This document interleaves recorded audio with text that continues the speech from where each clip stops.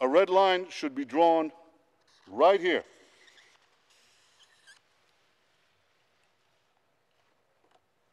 Before, before Iran completes the second stage of nuclear enrichment necessary to make a bomb, before Iran gets to a point where it's a few months away or a few weeks away from amassing enough enriched uranium to make a nuclear weapon.